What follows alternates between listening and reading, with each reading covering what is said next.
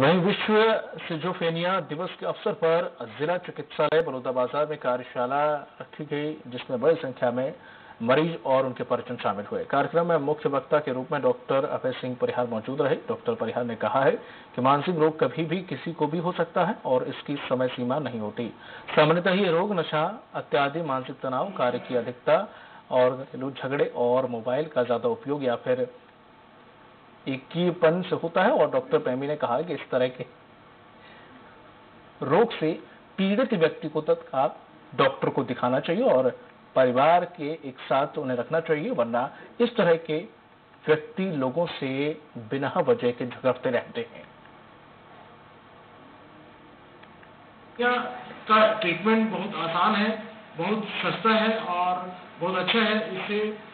मैं ये कहना चाहूँगा कि इस तरह के लक्षण अगर किसी भी हमारे आसपास सोसाइटी में कहीं मिले तो उनका उपचार करना चाहिए और जिला चिकित्सालय में उसका उपचार फ्री में उपलब्ध है। और यह आश्वस्त करना चाहूँगा कि इस तरह के उपचार से उनकी लाइफ बहुत पॉजिटिव सकारात्मक और प्रोडक्टिव हो सकती वहीं प्रधानमंत्री नरेंद्र मोदी ने लोकसभा चुनाव में एक बार फिर से ऐतिहासिक